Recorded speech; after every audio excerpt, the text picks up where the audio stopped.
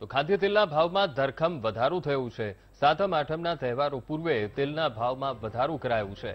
ખાદ્ય તેલના ભાવમાં ત્રીસથી લઈને એકસો રૂપિયા સુધીનો વધારો થયો છે. સિંગતેલના ડબ્બાના ભાવમાં વીસ દિવસમાં પંચાણું રૂપિયાનો વધારો થયો છે.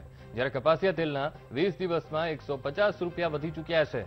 સિંગતેલનો ડબ્બો હાલ બે રૂપિયા અને કપાસિયા તેલનો ડબ્બો હાલ બે રૂપિયામાં મળી રહ્યો છે.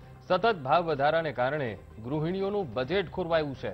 તહેવારો વચ્ચે ભાવ વધારાના કારણે લોકોને મુશ્કેલી પડી રહી છે.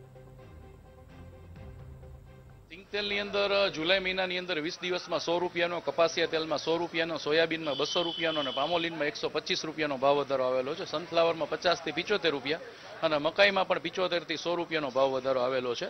ભાવ વધારાનું મુખ્ય કારણ મે મેથી લઈ અને જૂન વીસ તારીખ સુધીમાં દરેક માર્કેટમાં ત્રણસોથી ચારસો રૂપિયા ભાવ ઘટી ગયેલા હતા. સનફ્લાવરમાં ટોટલ છસોથી સાડા છસો રૂપિયાનો ભાવ ઘટાડો આવેલો હતો.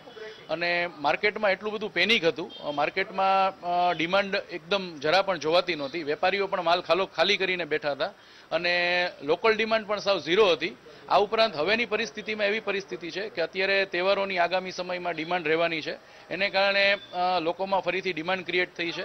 જે ડ્યુટી ઘટાડવાનું પેનિક હતું, એ પણ ત્રીસ જૂને ગવર્મેન્ટે ડ્યુટી ઘટાડી નાખી. એટલે વેપારીઓને પણ હવે નિરાશ છે કે હવે ફરીથી ડ્યુટી ઘટવાની અથવા તો ગવર્મેન્ટ તરફથી એવા કોઈ પગલાં લેવામાં નહીં આવે કે જેને કારણે ફરીથી તાત્કાલિક નુકસાન જઈ શકે એવી પરિસ્થિતિ ક્રિએટ થાય.